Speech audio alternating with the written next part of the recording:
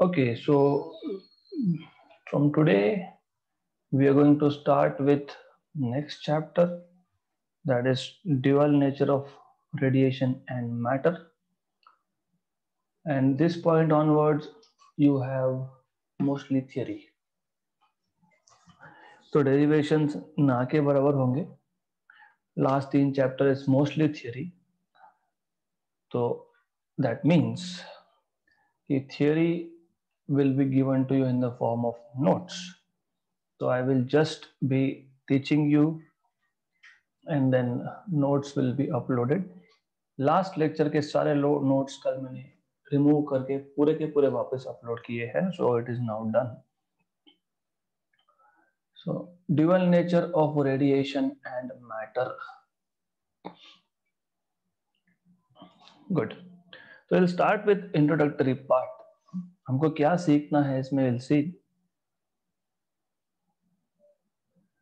Okay so सो फार आपने physics में related to light मतलब रिलेटेड टू इलेक्ट्रोमैटिक रेडिएशन जो कुछ भी सीखा है it tells you that light is a wave for example what we have learn we have learn phenomena like interference interference में there are two or more waves reaching at a point simultaneously. There is either addition of amplitudes or cancellation of amplitudes depending on the phase difference between the two incoming waves. तो अगर आपको याद होगा आपके पास दो waves हैं they are traveling in the same direction right they may or may not have same amplitude if they are travelling in phase अगर वो वेव इन फ़ेज़ है then when they reach at a point simultaneously simultaneously मतलब simultaneously ऐसा नहीं हो सकता कि पहले एक वेव पहुँचा, फिर दूसरा वेव आएगा बाद में तो when these two wave reach at a point simultaneously since they are in phase मतलब दोनों का क्रेस्ट क्रेस्ट मैच हो रहा है ट्रफ ट्रफ मैच हो रहा है मतलब all the. Particles of this wave, they are in same state of vibration. In this case, the resultant wave that you get is of higher amplitude, something like this. तो ये constructive interference होता है हमने इसका required mathematics already देखा है we also so how you write interference constructive और destructive in terms of phase difference and path difference. Just for a quick revision, path difference should be n lambda for constructive interference your books will say 2n lambda by 2 एक ही बात है आप बोल सकते हो n lambda मतलब integrated multiple of wavelength होना चाहिए to have constructive interference right या फिर इवन मल्टीपल होना चाहिए लैम्डा बाय 2 का similarly for destructive interference path difference should be 2n plus 1 lambda by 2 or multiple of lambda by 2 yeah in terms of phase difference, it should be 2 pi. For constructive and for destructive, it should be 2 plus 1 pi. मतलब zero two pi four pi six pi जब phase difference होगा तो constructive interference होगा। या फिर जब pi three pi five pi seven pi ऐसा phase difference होगा तो डिस्ट्रक्टिव इंटरफेरेंस होगा। But we don't want to go into much details of it सिर्फ़ याद दिलाने था। तो ये जो इंटरफेरेंस का फेनोमेना हम लोगों ने सीखा था it was under the that you have two waves so light was treated as wave okay then you also saw reflection of light. हमारे पास एक सरफेस है। अगर ये सरफेस नीचे से पॉलिश्ड है मतलब it will be a mirror So in this case, light will come, it will be incident at some angle of incidence and it will be reflected back. तो रिफ्लेक्शन ये जो फेनामेना है ये भी आपको लाइट का वेव नेचर बताता है then what you have learn polarisation for this year it was deleted but I will explain you in short देखो, जब सोर्स में से लाइट निकलता है फॉर एग्ज़ाम्पल मैंने घर में ये बल्ब लगा के रखा है, मैंने मैंने टर्न इट ऑन तो it is emitting millions and billions of photon per second और फोटोन मतलब इलेक्ट्रोमैटिक रेडिएशन क्या होता है? इट इज़ अ वेव जिसमें इलेक्ट्रिक फ़ील्ड के वाइब्रेशन होते हैं और मैग्नेटिक फ़ील्ड के वाइब्रेशन होते हैं and electric field vibration and magnetic field vibration, these both are perpendicular to each other as well as direction of propagation of wave मतलब ये कि अगर ये डायरेक्शन है प्रोपोगेशन का मतलब वेव अगर पॉजिटिव एक्स डायरेक्शन में आगे जा रहा है तो इलेक्ट्रिक फ़ील्ड के वाइब्रेशन अलोंग वाई होंगे या जेड होंगे, दोनों में से एक। और मैग्नेटिक फ़ील्ड के वाइब्रेशन जो होंगे, वो दूसरे डायरेक्शन में होंगे विच इज़ परपेंडिकुलर तो this are magnetic field vibrations this are electric field vibrations and this is direction of propagation x तो electric field magnetic field direction of propagation they are mutually perpendicular to each other correct तो जब हम polarisation की बात करते हैं, उस case में हमको कोई भी एक, या तो इलेक्ट्रिक फ़ील्ड वाइब्रेशन या फिर मैग्नेटिक फ़ील्ड वाइब्रेशन दोनों में से एक ही कंसिडर करना होता है। नॉर्मली हम लोग इलेक्ट्रिक फ़ील्ड वाइब्रेशन की बात करते हैं ओके तो if you see in this case the vibrations of electric field are confined they are concentrated in a single plane which is xy plane here correct तो जब एक फोटोन इमिट हुआ source में से तो the vibration of electric field can be in this direction जब दूसरा photon emit हुआ तो it can be in this direction जब तीसरा हुआ तो it can be in this direction in all the cases direction of propagation of wave is the same हर एक case में wave is coming out from the plane of this screen. Imagine करो wave is coming out from the screen, but electric field vibrate, uh, vectors are vibrating in different planes. Correct? इसको हम लोग बोलते हैं unpolarized light. So unpolarized light means the light containing vibrations of electric field in all possible planes. or or in all possible directions right अब polarisation करने का मतलब क्या होता है पोलराइजेशन करने का मतलब ये होता है कि मैं इस लाइट में से बाकी सारे वाइब्रेशंस हटा दूँगा and I will just have vibrations in single plane तो इसको बोलते हैं plane polarised light PPL exactly यही होता है जब आप सन ग्लासेस यूज़ करते हो। Because the light coming from sun is a wave which has vibration in all possible direction और हाईली इंटेंस बीम होता है। फिर आप सन ग्लासेस पहनते हो एंड यू से वाह! तो अभी हमारे आँखों पे स्ट्रेस नहीं हो रहा है। हमको, हमारे आँखों पे स्ट्रेस नहीं हो रहा है। हम लोग धूप में भी बाहर जा सकते हैं। तो what is happening is you are actually reducing the number of vibrations या फिर you are reducing number of waves falling on your eye correct good तो ये भी वेव नेचर है. So here also the light is behaving as wave okay और क्या देखा था हमने? और हमने देखा था diffraction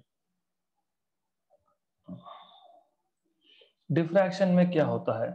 If you remember correctly diffraction में you have a small opening slit right? You have a screen. Light after passing through slit, you, it makes a pattern here where at the center you have brightest spot, central maxima, right? Then you have no light. Then you have again bright spot but with less intensity secondary maxima of the first order then you have no light and then you have again bright spot with less intensity secondary maxima of second order मतलब maxima centre से जैसे तो दूर जाओगे intensity कम हो रहा है फिर it will be same on both sides तो ये भी जो फेनामिना था ये भी फेनामिना क्या बताता है? हमको बताता है कि लाइट जो है इट इज़ वेव ओके तो apart from all this observation क्योंकि ये चारों फेनामेना हमको बताते हैं that light behaves as wave but there are few observations, experimental observations, which cannot be explained on the basis of wave theory of light. तो वहाँ पे वेव थियोरी से आप एक्सप्लेन ही नहीं कर सकते हो। जैसे फॉर एग्ज़ाम्पल हमारे पास एक मेटल का सरफेस है। इस मेटल के सरफेस पे हमने फोटोन मतलब लाइट रेडिएशन हम लोगों ने इंसिडेंट किया। और यहाँ से इलेक्ट्रॉन्स इमिट होना चालू हो गए। तो ये कब पॉसिबल है? जब, क्योंकि हमको पता है कि मेटल के सरफेस मेटल है तो फिर मेटल में क्या होता है? एटम्स होते हैं। मतलब जब मैं माइक्रोस्कोपिक लेवल पे देखूँगा तो मुझे पता है कि न्यूक्लियस है मेटल का। फिर देर आर फ़ील्ड शेल्स तो I don't care for field shells हमारा इंटरेस्ट हमेशा रहता है लास्ट शेल में क्या है? आपको पता है कि अगर मेटल्स है तो लास्ट शेल में एक या दो या तीन इलेक्ट्रॉन्स होंगे। फिर जब इलेक्ट्रोमैग्नेटिक रेडिएशन आया मतलब वेव आया लाइट बोलूँगा मैं यहाँ पे and not say wave here तो यहाँ पे जब लाइट आई लाइट और इलेक्ट्रॉन में कोलिजन हुआ। लाइट ने अपना एनर्जी ट्रांसफ़र कर दिया और ये इलेक्ट्रॉन हो गया फ्री। लेकिन कोलिजन कभी भी मैटर में होता है, पार्टिकल पार्टिकल में होता है, wave can not undergo collision. इसका मतलब लाइट कोलाइड हो ही नहीं सकती अगर हमने लाइट को एज अ पार्टिकल नहीं ट्रीट किया तो। करेक्ट लेकिन यहाँ तो लाइट इंसिडेंट करने का इलेक्ट्रॉन इमिट हो रहे हैं। मतलब लाइट का और इलेक्ट्रॉन का कोलिजन हुआ एनर्जी ट्रांसफ़र हुई मतलब इन इलास्टिक कोलिजन है ये। इसलिए एनर्जी ट्रांसफ़र हुई ना? राइट और इलेक्ट्रॉन्स इमिट हुए। By the way this emitted electrons are called as photo electrons the emission of electron due to incident photons is called as photo electric effect and the electrons which are emitted are called as photoelectrons. तो ये जो photo electric effect है it is the first proof that light can behave as particle also तो इस chapter में हमको dual nature देखना है। लाइट का भी, क्योंकि लाइट वेव होता है, हमको पता है। और वो पार्टिकल भी है वी हैव जस्ट प्रूव्ड और मैटर का भी, जैसे इलेक्ट्रॉन पार्टिकल है, हमको पता है। लेकिन इलेक्ट्रॉन भी under some condition it will behave as a wave लेकिन light at a given instant of time under a given condition can either be a wave और be a particle electron at a given time under given condition can either be a particle और be a wave दोनों nature एक साथ नहीं हो सकते। Correct in this chapter we will be studying dual nature of radiation and matter अब सबसे पहले Planck was the one to propose or to say that light is emitted in the form of small packets of energy okay? तो हमको जब दिखता है कि हमारे पास लाइट आ रहा है we see that it is coming in the form of wave but Planck said that light is always emitted in small packets of energy. Each packet is called as photon. Right? तो जब photon बोलूँगा मतलब I am treating light as particle right और हर एक photon के पास, और ये मासलेस होता है बेसिकली हर एक फोटोन के पास एनर्जी होता है विच इज़ एच नो जितना ज़्यादा फ्रीक्वेंसी उतना ज़्यादा energy correct so this is the basis of dual nature of wave. One more thing that you need to understand is, ये जो फोटॉन्स इमिट हो रहे हैं तो अभी आप जिस रूम में बैठे हो, यहाँ पे ट्यूबलाइट लगा हो, जो भी एलईडी लाइट है ये तो light is emitted in the form of photons so light is coming and hitting you आपको ऐसा लग रहा है कि कोई छोटे पत्थर आपको मार रहा है are you feeling it no why not because this photons are massless massless है मतलब कोलिजन पे momentum momentum mv right it is not getting transferred matlab in this case light is behaving as a wave and not as particle good good okay so just a brief reintroduction and since this chapter onwards mostly it is theory you will be getting direct ready notes we are not going to waste our time in writing down things i will put my time to make notes and will upload okay as it is required तो जैसे भी सही रहेगा वैसे notes upload कर दिए जाएंगे तो इस चैप्टर में इन शॉर्ट हमको क्या करना है हमने अब तक के जो भी प्रीवियस चैप्टर देखे हैं related to related to optics उस पर हमने सीखा है interference polarization, diffraction, reflection, refraction. All these phenomena, they tell you that light is a wave.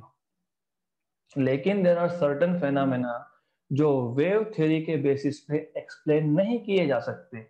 जैसे light falling on to a metal surface and electrons are getting emitted वो emission of electrons it is only possible if light is a particle that particle of light collides with electron transfers energy and electrons gets free तो collision can only be explain on the basis of particle nature या तो फिर matter बोल सकते हैं उसको।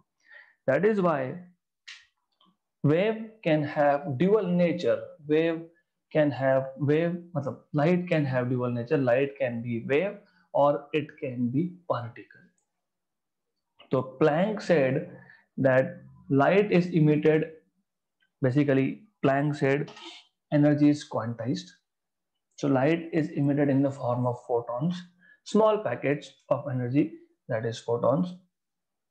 Each photon carries an energy of h nu. जितना frequency ज़्यादा उतना energy ज़्यादा. And depending on that theory of Planck, Einstein came up with photoelectric effect और नोबेल प्राइज मिला था इसके लिए दिस इज़ वेरी इंटरेस्टिंग कि आइंस्टाइन को जनरल थियोरी ऑफ़ रिलेटिविटी के लिए नहीं बट फ़ोटो इलेक्ट्रिक इफ़ेक्ट के लिए नोबेल प्राइज मिला है। तो let us study photo electric effect मैंने अभी भी बताया। Actually in reality photo electric effect Hertz ने 1887 में ही डिस्कवर कर लिया था। He was studying sorry production of electromagnetic waves by spark plug. You all should be knowing what is a spark plug. आप सब गाड़ी चलाते हो और अगर बाइक्स में कहीं पे लिखा होता है digital twin spark ignition DTSI या फिर अभी टी टी एस आई भी आया है ट्रिपल ऐसा करके digital triple something like that don't remember okay anyways तो twin spark ignition spark plug क्या होता है? स्पार्क प्लग होता है यू हैव एन इलेक्ट्रोड आपके पास एक इलेक्ट्रोड है आपके पास और एक इलेक्ट्रोड है तो इसमें स्पार्क प्रोड्यूस होता है सो इलेक्ट्रॉन्स और current through gas, air. The same thing was used in old style tube lights. वो ओल्ड साइज़ जो ट्यूबलाइट होती थी, उसके अंदर गैस होता है और दो इलेक्ट्रोड्स होते हैं। So when you switch on the button it a spark from one end to other end of the tube light और जब वो, देखो क्या है कि यहाँ पे गैस है ट्यूबलाइट के अंदर गैस है ओके मैंने जब यहाँ से इलेक्ट्रॉन को एक एंड से दूसरे एंड पे शूट किया तो क्या होगा? गैस है अंदर। गैस है मतलब गैस के पास इलेक्ट्रॉन्स भी होंगे और एनर्जी लेवल्स भी होंगे। तो जब इलेक्ट्रॉन जाएगा तो कोलिजन होगा। कोलिजन से ये इलेक्ट्रॉन दूसरे इलेक्ट्रॉन को एनर्जी ट्रांसफ़र करेगा। दूसरा इलेक्ट्रॉन एनर्जी लेके एक्साइट होके ऊपर के लेवल में जाएगा। फिर जब डी एक्साइटेशन होता है so when electron goes back to its original level it emits the extra energy in the form of light good तो स्पार्क प्लग मतलब यही होता है basically that you are passing electrons from one electrode to another through a gas तो Hertz was actually studying production of electromagnetic radiation by spark plug हुआ क्या? हुआ ये. Accidentally this plate was exposed to ultraviolet radiation. और जब ultra violet radiation इस पे fall हुआ all of a sudden high voltage current produce हुआ. राइट इसका मतलब ये दैट यूवी लाइट फॉल होने के बाद प्लेट से बहुत ज़्यादा इलेक्ट्रॉन्स इमिट हो रहे हैं। यूवी लाइट ओके इसका मतलब ये ये जो emission of electron from a metal surface है it is dependent on frequency of incoming radiation क्यों ultraviolet why not for visible? Why not for microwave? Why not for radio wave? क्यों? क्योंकि आपको पता है, सबसे ज़्यादा एनर्जी होता है ग्यामा रेडिएशन का, फिर एक्स रेडिएशन का, फिर यूवी का। इसका मतलब ये होता है कि electrons can be emitted from a surface of metal only if they have a frequency greater than a particular value उससे कम फ्रीक्वेंसी की लाइट मतलब इलेक्ट्रोमैटिक रेडिएशन अगर आप इंसिडेंट करोगे तो वहाँ से कोई भी इलेक्ट्रॉन इमिट नहीं होने वाला। तो वो जो वैल्यू है, किसकी? फ्रीक्वेंसी की. The minimum value of frequency for which there is emission और there are emission of photo electron from metal surface is called as critical या फिर थ्रेश होल्ड फ्रिक्वेंसी गुड तो accidentally Hertz notice that when this electrode और metal plate is exposed to ultraviolet radiation, there is high voltage current from here. Okay, high voltage spark. So that was the first experimental evidence. But he did not explain it. Explain करने के लिए Einstein ने बोला कि what happens is when light of suitable frequency when light of suitable frequency is incident on a metal surface, then there is emission of electrons from that metal surface. This phenomena is called as photoelectric effect. And the electrons so emitted are called as photoelectrons. Easy? Simple sa concept hai? Good. So,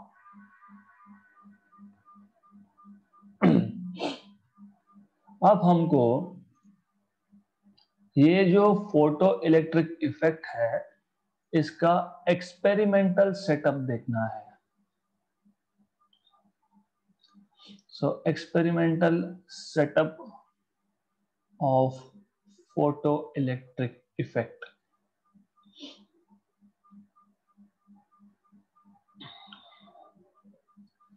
right setup बहुत simple है।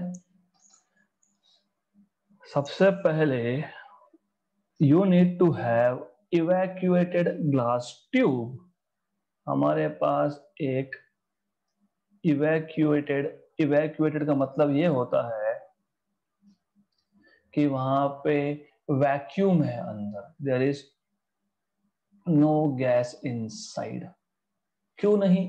क्योंकि जब electrons emit होंगे एक and पे, वो जब दूसरे एंड पे जाएँगे अगर बीच में गैस हुआ तो वही होगा जो ट्यूबलाइट में होता है। Electron will lose its energy because of collision that moving electron may collide with electron of the gas it may excite the electron to go into higher level and while the excitation that excited electron will emit energy in the form of radiation हमको ये नहीं करना। हमको यहाँ पे light का generation नहीं करना, हमको यहाँ पे फ़ोटो इलेक्ट्रिक मतलब emission of electrons due to photons का स्टडी करना है। हमको ये देखना है कि मैं अगर एक फ्रीक्वेंसी का लाइट यूज़ कर रहा हूँ, उसका रेडिएशन में एक मेटल सरफेस पे इंसिडेंट कर रहा हूँ तो कितना करंट जनरेट हो रहा है? फिर मैंने फ्रीक्वेंसी चेंज किया तो कितना करंट जनरेट हुआ? मैंने इंटेंसिटी चेंज किया तो कितना करंट जनरेट हुआ? इसका मतलब ये जो ट्यूब है, ये इवैक्यूएटेड चाहिए मतलब इसमें कुछ भी नहीं होना चाहिए। So first of all, you need to have evacuated tube. अब इवैक्यूएटेड ट्यूब है, इसमें फोटॉन्स को अंदर भेजने का प्रोविज़न करना पड़ेगा। फोटॉन्स कहाँ से अंदर आएगा? क्योंकि मैं यहाँ से इसको क्लोज करने वाला हूँ। मैं इसको यहाँ से भी क्लोज करने वाला हूँ। Okay okay? और I will Keep a plate here this plate is called as anode plate which is photosensitive photosensitive मतलब जब फोटॉन्स इस पर इमिट होंगे तो इलेक्ट्रॉन्स फोटॉन्स यहाँ पे इंसिडेंट होंगे तो इलेक्ट्रॉन्स इमिट होने चाहिए photosensitive sensitive to photons okay good then I should be connecting this to an external circuit. अभी एक्सटर्नल सर्किट क्या है, मैं बाद में बताऊँगा for the timing unit to know अब ऐसा है कि इलेक्ट्रॉन्स इमिट होके जाएगा कहाँ पे? हमको हाउ डू यू मेजर हमको कैसा पता लगेगा कितना इलेक्ट्रॉन्स इमिट हुआ है? तो हम लोग अगर number of electrons passing per second मतलब करंट मेजर कर पाए तो हमको समझ में आ जाएगा कि इतनी फ्रीक्वेंसी के लिए इतना करंट है, इतने इंटेंसिटी के लिए इतना करंट है। मतलब अल्टीमेटली हम लोगों को क्या मेजर करना है? करंट तो करंट मेजर करना है तो जब इलेक्ट्रॉन इस एनोड प्लेट से इमिट होगा, या तो इसको इमिटर प्लेट बोल दो better I not call it anode emitter plate तो जब इलेक्ट्रॉन इस इमिटर प्लेट से इमिट होगा तो उसको कलेक्ट करने के लिए दूसरा प्लेट लगाना पड़ेगा. तो this plate will be called as collector plate good then definitely इसको भी हमको एक्सटर्नल सर्किट में जोड़ना पड़ेगा। क्यों जोड़ना पड़ेगा? बिकॉज़ बिकॉज़ आपको ये पता है इलेक्ट्रॉन्स पे चार्ज क्या होता है? नेगेटिव तो इमिटर प्लेट को इमिटर प्लेट से जब इलेक्ट्रॉन इमिट होगा, उसको अगर कलेक्टर प्लेट तक लेके जाना है तो इमिटर प्लेट और कलेक्टर प्लेट में पोटेंशियल डिफरेंस देना पड़ेगा। इमिटर प्लेट को नेगेटिव और कलेक्टर प्लेट को पॉजिटिव तब जाके this electron will go towards collector plate और क्योंकि कलेक्टर प्लेट पॉजिटिव है, which means which means that this potential difference is accelerating potential difference. क्यों accelerating? क्योंकि वो इलेक्ट्रॉन को एक्सिलरेट करेगा। इसलिए क्या बोलेंगे? एक्सेलरेटिंग पोटेंशियल डिफरेंस उल्टा भी कर सकते थे। हम लोग इसी को पॉजिटिव बना देते, इसको नेगेटिव बना देते। तो उस केस में ये जो पोटेंशियल डिफरेंस हम अप्लाई करेंगे, ये डी एक्सेलरेट करेगा मतलब ये रिटार्ड करेगा तो उसको बोलेंगे रिटार्डिंग पोटेंशियल और ये याद रखना बहुत ज़रूरी है क्योंकि हम लोगों को ग्राफ बनाने हैं। तीन ग्राफ तो कम से कम लगेंगे। एक current against frequency of the radiation, वो रेडिएशन का सोर्स बताना बाकी है। एक current against intensity of radiation, एक करंट अगेंस्ट पोटेंशियल। तो आप रिटार्डिंग पोटेंशियल लगा रहे हो या आप एक्सिलरेटिंग पोटेंशियल लगा रहे हो you need to be sure about it good then electron emit कब होगा? जब लाइट इंसिडेंट होगा। लाइट इंसिडेंट होगा तो पहले लाइट को अंदर आने दो। तो यहाँ पे हमने एक ऐसा अरेंजमेंट किया है। ओके okay, तो यहाँ पे एक विंडो है। यहाँ पे एक विंडो है। And this window is made up of quartz ये वही क्वार्ट्ज मटेरियल है जो आपके रिस्ट वॉचेस में यूज़ होता है। ये क्वार्ट्ज का विंडो क्या करता है? बेसिकली इसके बाहर हमने एक लाइट का सोर्स रखा है। सोर्स ऑफ़ रेडिएशन एस तो इस सोर्स ऑफ़ रेडिएशन से फोटोन आएगा। It will hit the surface of emitter plate. There will be emission of photoelectrons. Quartz का window this is quartz window quartz का ही क्यों लगाया? क्योंकि quartz is one way traffic मतलब ये फोटोन को सिर्फ़ अंदर जाने देगा। फोटोन यहाँ से बाहर नहीं जा सकता। Right right? इसलिए क्वार्ट्ज का विंडो क्योंकि आप बोलोगे फिर ग्लास क्यों नहीं लगाया? ग्लास से लाइट टू वे पास होता है। यहाँ पे वन वे है। Only can go in side can not go outside good then अब एज आई टोल्ड यू कि हम लोग या तो एक्सिलरेटिंग पोटेंशियल लगा सकते हैं, या हम लोग रिटार्डिंग पोटेंशियल भी लगा सकते हैं। तो अगर एक्सिलरेटिंग पोटेंशियल लगाना है तो emitter plate should be at negative potential with respect to collector मतलब collector should be at higher या फिर positive potential with respect to emitter right अगर एक्सिलरेटिंग पोटेंशियल लगाना है मतलब इलेक्ट्रॉन को इमीटर प्लेट से कलेक्टर प्लेट पे ले जाना है तो collector plate should be at positive potential तब जाके एक्सेलरेटिंग पोटेंशियल होगा ना, तब जाके electron will be accelerated towards collector या फिर कभी कभी वो कभी कभी कब होता है वो आगे देखेंगे। Sometimes you may need to switch the polarity sometimes you may want emitter plate को पॉजिटिव करो कलेक्टर प्लेट को नेगेटिव करो। मतलब कम्यूट करना पड़ेगा मतलब पोलैरिटी चेंज करना पड़ेगा। तो उसके लिए एक कम्यूटेटर अरेंजमेंट चाहिए तो विच इज़ हियर तो ऐसा है। ये क्यों नहीं होता है? हो गया राइट तो in some cases, you may want to switch the polarity. तो वो जो पोलैरिटी स्विच करना है, उसके लिए हमको एक अरेंजमेंट चाहिए। तो यहाँ पे वो अरेंजमेंट हम लोग करने ये जंपर होता है बाय द मुझे अगर एक वायर के ऊपर से दूसरा वायर क्रॉस करवाना है विदाउट टचिंग तो हम ऐसा जंप करवा देते हैं इसको। तो ये जो मैंने सी काइंड ऑफ़ स्ट्रक्चर दिखाया है यहाँ पे this is jumper you don't have to touch these two wires good अब यहाँ पे है कम्यूटेटर अरेंजमेंट तो ये कम्यूटेटर अरेंजमेंट क्या है? I am going to tell you in short आपको वैसे भी इस साल डिटेल्स में नहीं है। लास्ट ईयर लास्ट टाइम तक था ओल्ड सिलेबस तक।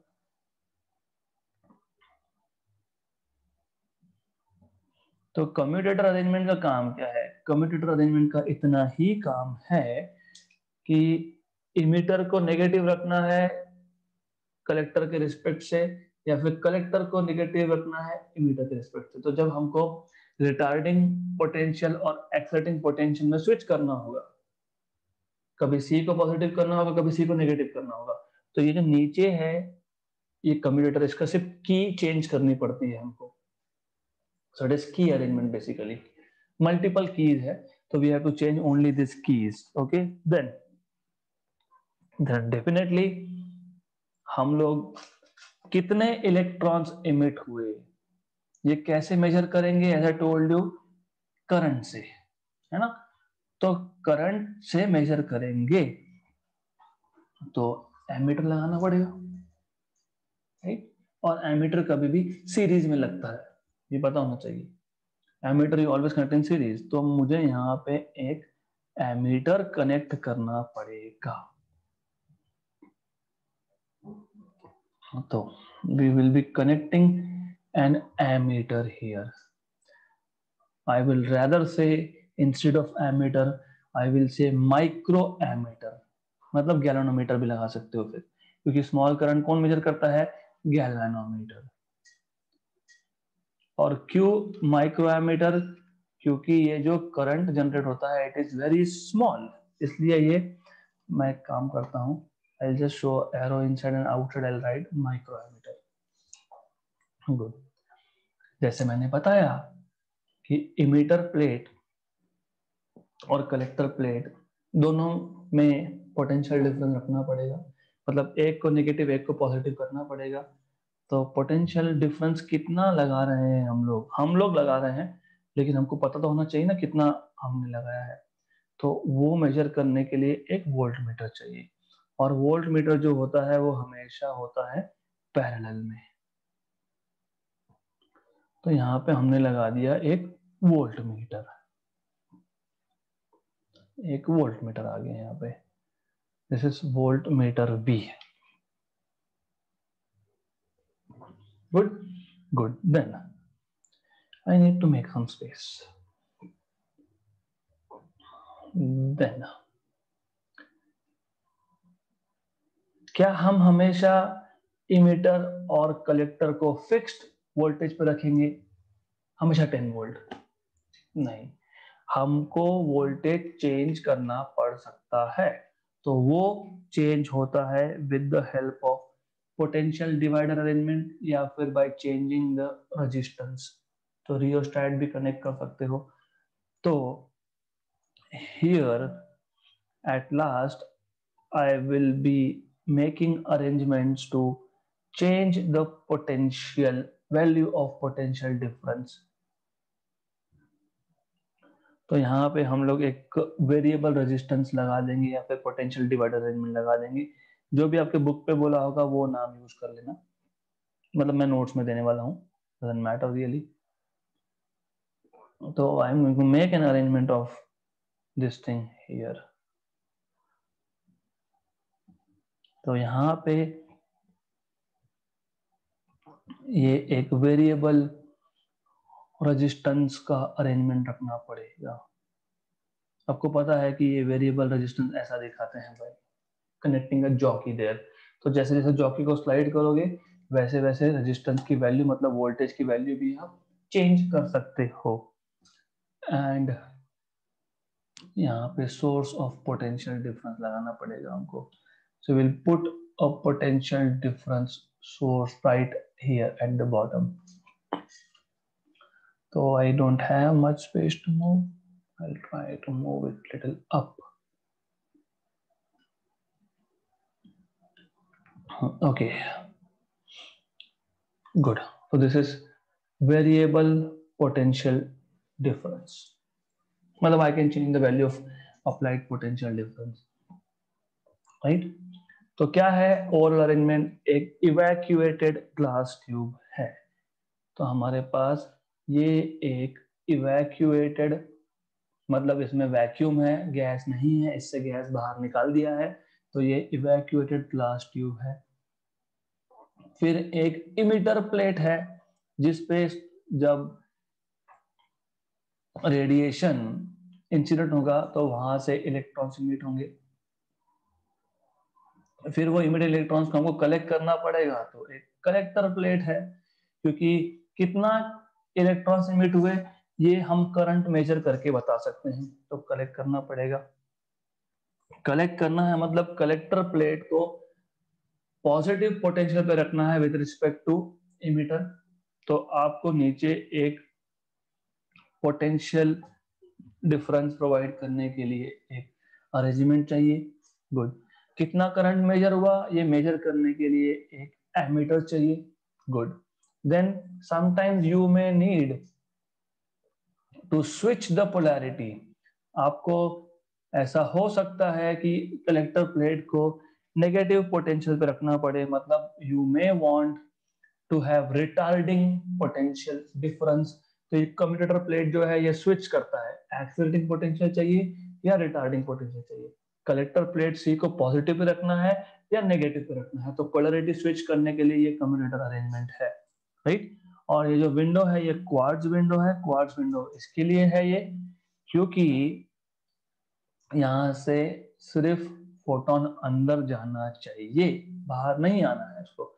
और ये इमिटर प्लेट जो होता है, ये फ़ोटो सेंसिटिव होता है। मतलब फोटॉन्स इमिट इंसिडेंट होने के बाद इलेक्ट्रॉन्स इमिट होने चाहिए तो this is photo sensitive emitter plate good तो this is experimental arrangement you will have a source of light mostly UV it will be emitting photons that will hit emitter plate which is photo sensitive electrons will be emitted सामने एक plate है collector plate जो higher potential पे है positive potential पे electrons वहाँ पे exit होंगे। वो प्लेट इलेक्ट्रॉन्स को कलेक्ट करेगा, वो सर्किट में भेजेगा सर्किट आपको करंट बताएगा। फिर आप अलग अलग पैरामीटर जैसे मैं यहाँ पे सोर्स का फ्रीक्वेंसी नू चेंज करूँगा मतलब एनर्जी चेंज होगा मतलब मैं यहाँ से अल्ट्रा वायलेट या विजिबल फोटोन भेज सकता हूँ अकॉर्डिंग टू माई विश फिर हम frequency what will do is हम करंट अगेंस्ट फ्रिक्वेंसी का ग्राफ देखेंगे। फिर मैं इंटेंसिटी भी चेंज कर सकता हूँ। What is intensity number of मतलब बेसिकली इंटेंसिटी का डेफिनेशन क्या होता है? एनर्जी पर यूनिट टाइम पहले मैं दो फोटोन भेज रहा था, अब मैं दस भेज रहा हूँ। मैंने फोटोन की एनर्जी चेंज किया क्या? नहीं। मैंने फ्रीक्वेंसी चेंज किया क्या? नहीं। I have just increase the number of photons तो I have I am increasing intensity मतलब energy per unit time so i can change the intensity and i can measure what your current. Then i can change the potential difference between the plates and i can measure what is the intensity or what is the current right So this is how you will be studying photoelectric effect. Okay. Good. So as I told you, we are going to stop little early today. It is 10:30 already, anyways. All this material will be made available in the form of notes to you because it is given in a proper way in your new textbook इसके बाद का जो topic है that notes I will be uploading okay मतलब कल के lecture का जो नोट्स है वो मैं बना के अपलोड करूँगा okay so will stop for the day